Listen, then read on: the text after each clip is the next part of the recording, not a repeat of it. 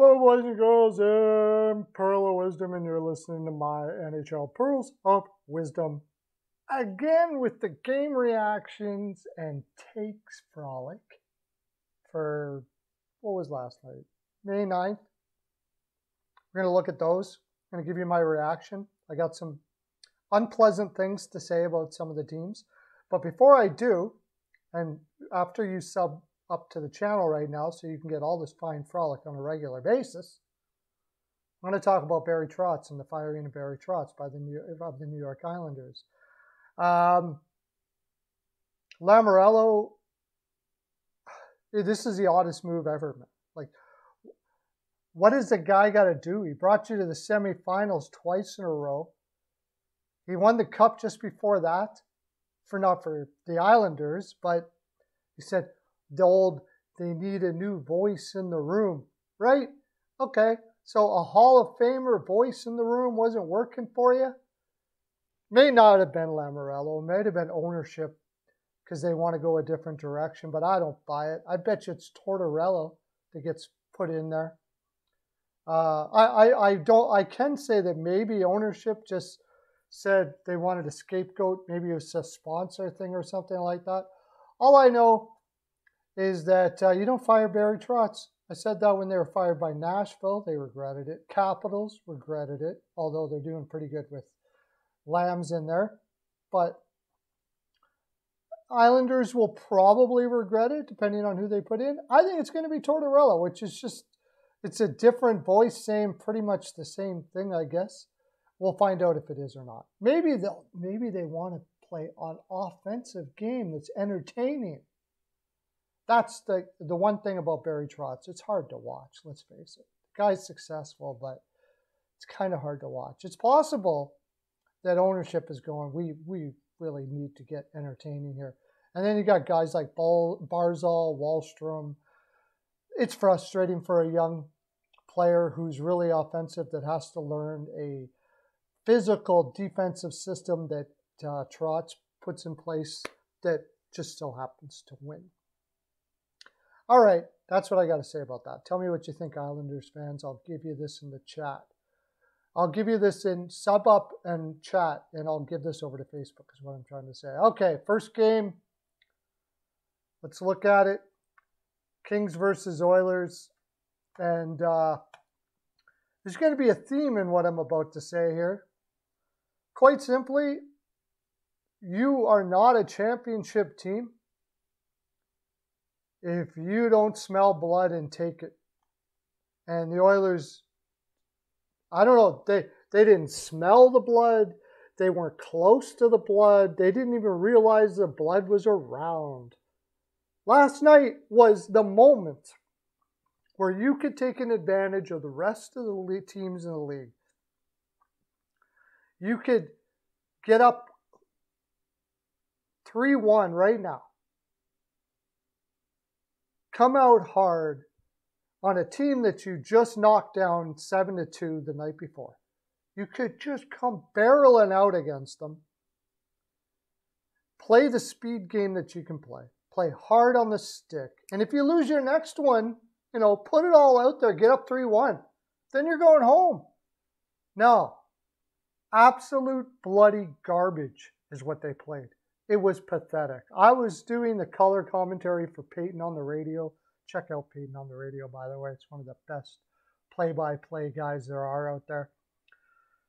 Uh, I mean, we can talk about Grundstrom scored. You talk about whether that goal should have been allowed. Who cares? Who cares? The Oilers were playing like like it was a Sunday afternoon jaunt out in the park. It was pathetic. To, the only people, the only, there was only one line that carried any possession, and you know what it was. It was the McDavid line. McDavid played like a beast. I'm sorry, man. If I'm McDavid right after seeing that performance last night, if I'm McDavid, like it's seriously going through my head whether I'm staying here or not. Because you they're so far away from winning a cup, the Edmonton Oilers. True cup, true cup contenders. Okay, you got Toronto. You can say, well, they cropped the bet against Tampa Bay. Yeah, but it was Tampa freaking Bay. This is the LA Kings who are without Drew Doughty right now. Duncan Keith and Tyson Barrie shouldn't see another freaking blade to the ice if this team had any depth whatsoever. Keith was an absolute garbage, a basket case, piece of crap, useless. I, any word you can come up with that sounds that's a synonym for that, you would be accurate. He was horrible, and he has been all year. Barrie mostly has as well, and he was just as bad last night. But everybody played poorly.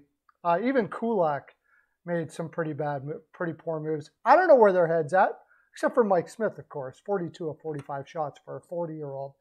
You know, do you think Mike Smith might be in that room right now? A guy who's been around as long as he has that wants to win a cup, going, excuse, what was what was that? You you think you want you want to be you say you want to be a champion, Stanley Cup champion, and you come with your head what on your mom, thinking of your moms right now or something?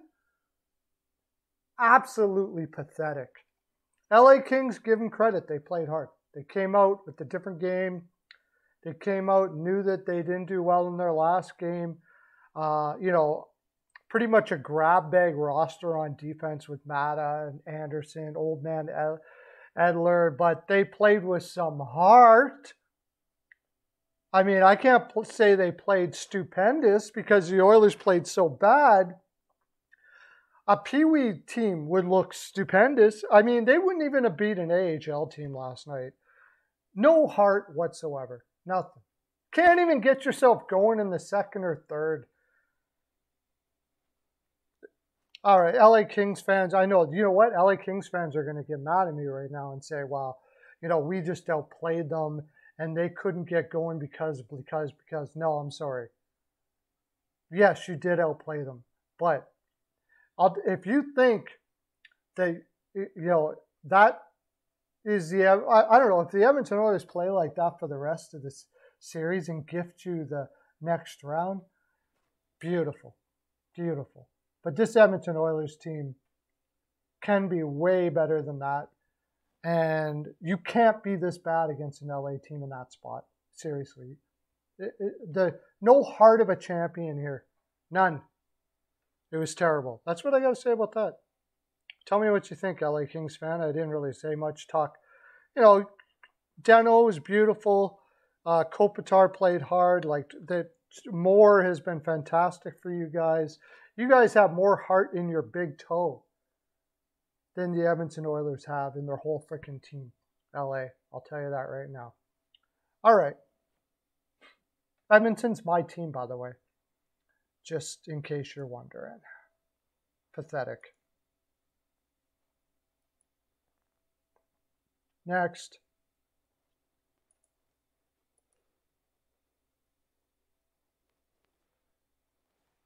Uh, yeah, we were just talking about it, Lightning and uh, the Maple Leafs, and yeah, the Lightning came out to play. I'm not going to give Toronto the crapper like I did Edmonton because you're playing against Tampa Bay, and it's been going back and forth.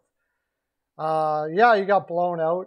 Um, honestly, it was mostly goaltending. Campbell just wasn't playing well.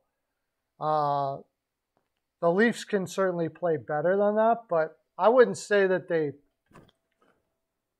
I'll say they, they played a lot better than the Edmonton Oilers did from what I saw of the game.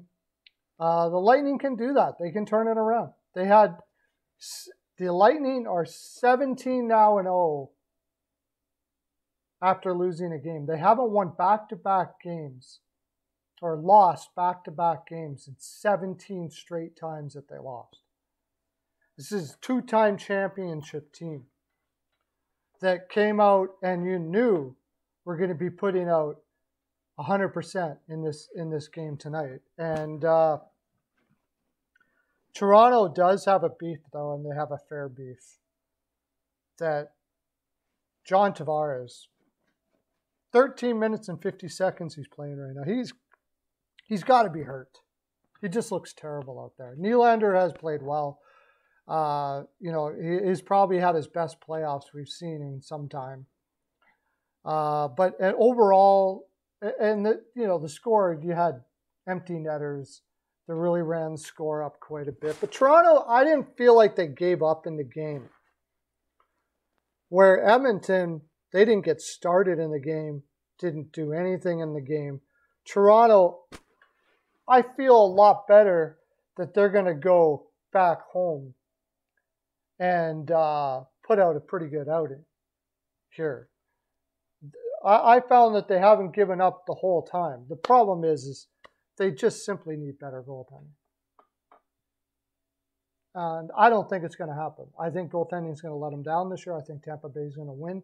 And it's if they had top-notch number one goaltending, like a top 10 goaltender in the league, they probably win this series. But it's goaltending that's probably going to let them down. That's what I think. What do you guys think, Leafs fans?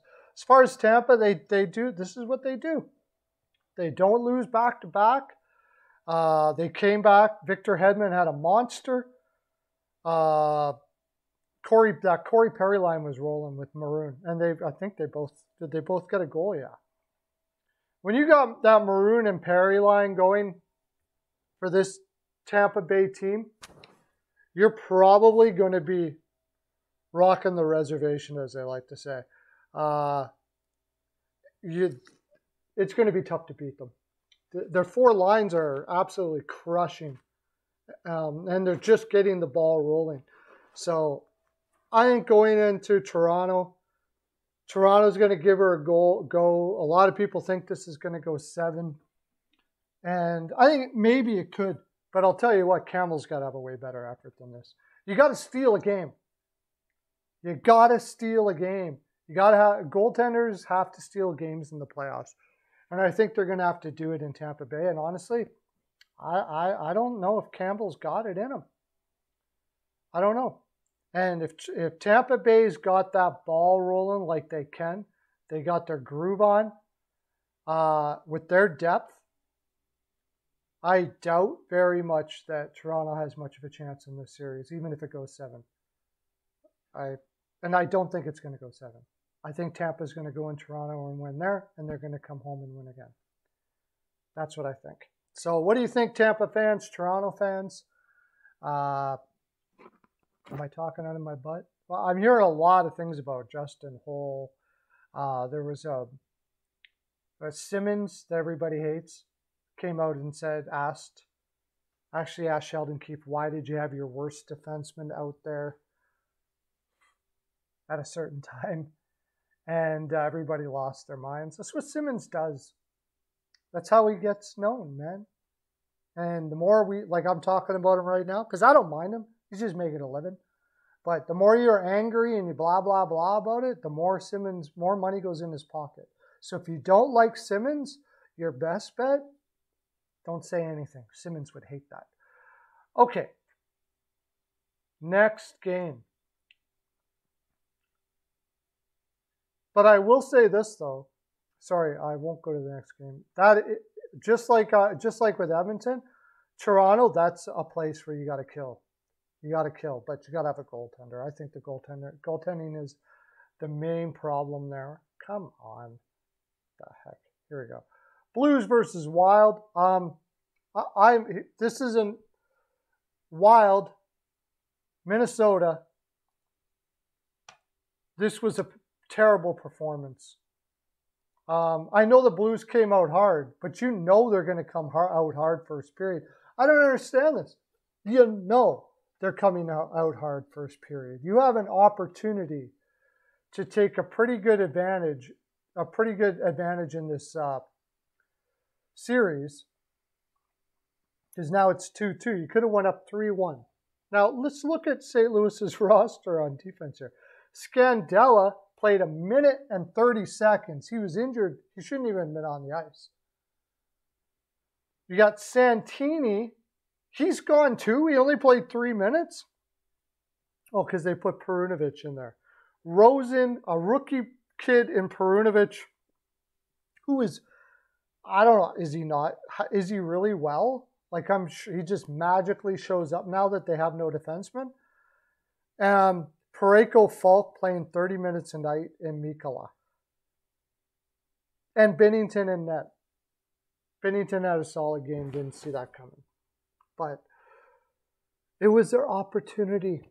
Smelling blood. Get it done, man.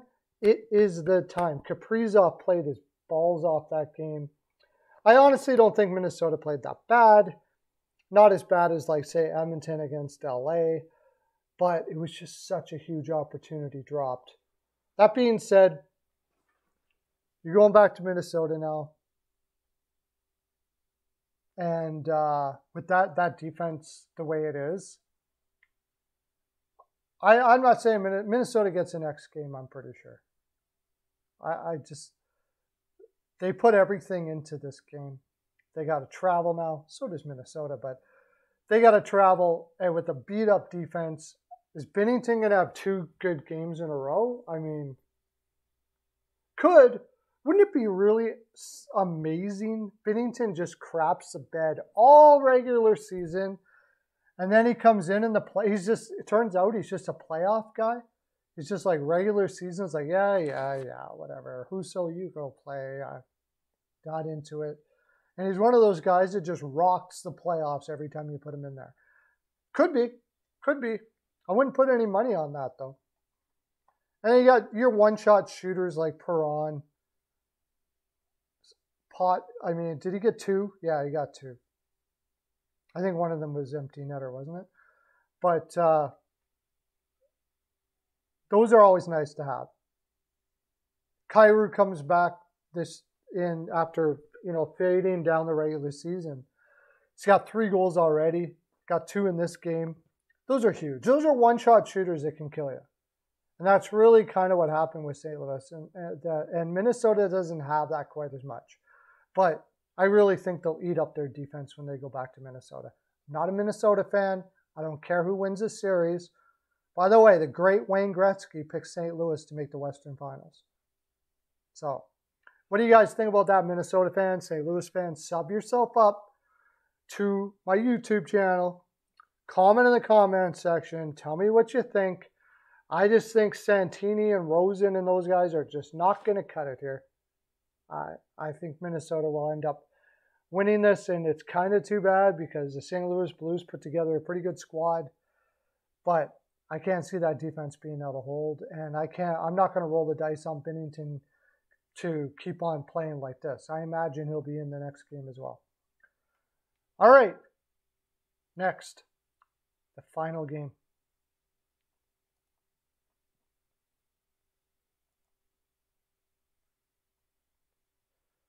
Bruins versus Hurricanes, and it's just the same theme. Smelling blood, man. The Bruins were without McAvoy here. No McAvoy. Carolina. No McAvoy, no Lindholm. Their two best defensemen are not in the lineup. You've got Pesce, Slavin, Skjei, DeAngelo. And DeAngelo, would you shut up? already? This is, this is not a time for personal battles, a hole. Seriously. What are you doing out there? Waking up the Boston Bruins? You're gonna, they were, the Boston Bruins were like floating around. And they didn't have much emotion at all. And you all of a sudden, yeah, yeah, yeah, yeah, yeah, getting in personal fights with the players? Are you freaking crazy? That was absolutely ridiculous. Uh, but overall, the overall performance by Carolina was pretty meh when you consider they had Boston by the throat with two poor defensemen. No, without two defensemen in their lineup, their two main defensemen. That's what I'm trying to say. You know, Reilly, it's okay. Carlo hasn't had a strong year. Forbort and Brown and Clifton, you can't beat this team on the road? Like, seriously? With the typist, your system just completely breaks down at this time? Are you freaking serious now? Brind'Amour must, he, and I don't think he does this too often, but I'm pretty sure Brind'Amour tore the paint off that dressing room after this game. Like these are places where championships kill. Champion where champions kill. The Pittsburgh Penguins against the New York Rangers with the third stringer. That's what champions do. Carolina. That's what champions do. The Boston Bruins have done it before. But that being said, the Boston Bruins, without McAvoy, without their two best defensemen, come out and bring it. They bring it. Bergeron played unbelievable. That whole top line just said, you know what? You may beat us, but we're not beating us. We're not beating us here. Wouldn't you love to see the Edmonton Oilers, the Toronto Maple Leafs, the Carolina Hurricanes have that attitude? If you're a fan of them, Boston Bruins may not win a cup this year, but they embody what it means to crush it when you need to crush it. To only lose in important situations if you're actually beat. Now, the first two games against Carolina, you would say, well, they didn't look too great there. Yeah, but this was game three. This is when the money's on the. This was game four, actually. This this is when the money's on the table. And they bring it. Great teams may lose two in the first, you know, take a first two games take a while to get their like, you know, know how they're going to attack their opponent. But when the chips are down, this is what great teams do. I'll go as far as to say that the LA Kings will win a cup before the Edmonton Oilers will because I've seen from the LA Kings, they don't necessarily have the talent right now, but they bring it. And when they don't bring it, if they don't bring it in one game, the next game, they're bringing it full force, man. And uh, I'm sorry, but I, am not seeing it from Carolina. I'm not seeing it from the Florida Panthers. We'll find out tonight. Uh, Toronto has a history of not seeing it, and they're trying to create it. It's what championship champions do. Tell me what you think, Boston Bruins fan. By the way, Swayman, beautiful, beautiful. Love that. I love. Don't you love watching these hotshot kids go off? It's like you're seeing the next Patrick Roy or Brodeur or whatever. Oettinger in Dallas, Swayman in Boston. Certainly not Raanta in Carolina, is it? All right. That's my full 42. That's all I got to say. Tell me, Boston Bruin fans, Carolina fans, what you think about what I just said. What more do you got to say about this? Uh, do you how much how much are you? Uh, what do you, what do you think about your team? Your the series that's going on, all of those things. Sub up. Let me know in the comment section. That's my full 42. Have a great day, everybody. Take care. Bye.